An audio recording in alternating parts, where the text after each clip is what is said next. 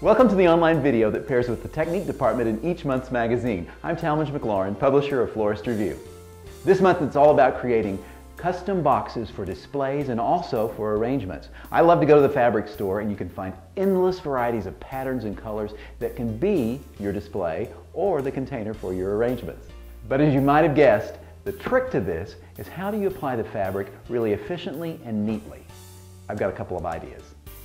The first step, after you've picked out your fabric, is to measure how much fabric you're going to need to cover the box. So I just take this fabric, turn it on its backside out, and take my box and make sure that there's enough on either side with a little bit left over to fold in. Now I'm going to mark the box by taking a pencil and going all the way around the bottom. And then I'm going to take the straight side of the box and continue that line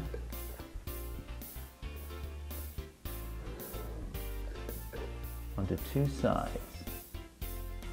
Now for the other two sides, I want to make it just about a half an inch to three quarters of an inch wider.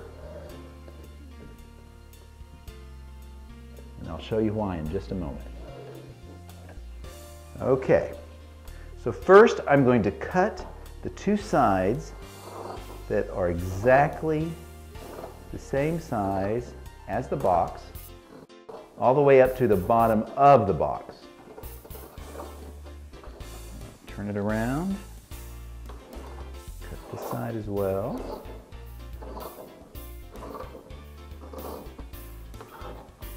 Now, for the sides that have a little bit of extra fabric, I will cut that right up at the very and pull that off.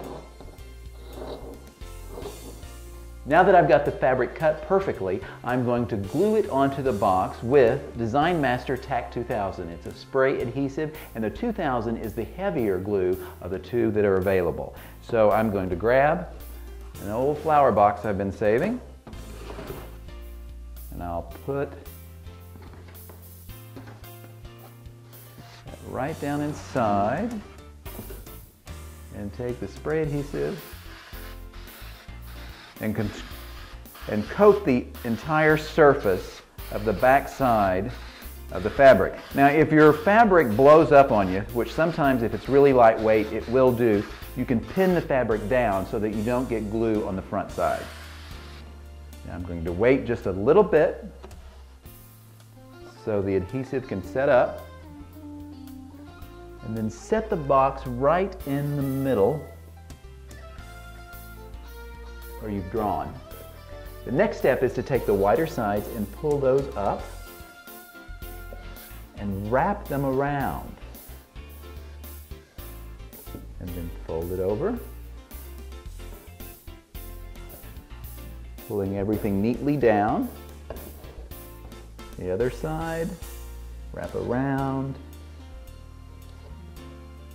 Pull it on the inside of the box.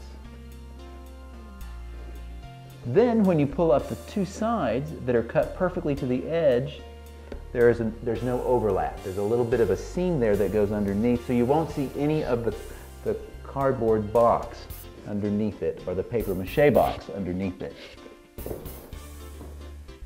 Then you can cover the lid of the box with a little piece of fabric in the exact same manner. One added tip, if you notice there's a little fraying on the edge of the box where the fabric is cut and you want to fix that, there's a couple of ways to do that. If there's a synthetic material within the fabric, you can take just a lighter and just sear the edges lightly and that will stop it from raveling completely.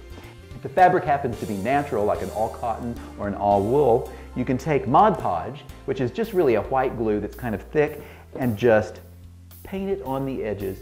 It will set up, no fraying.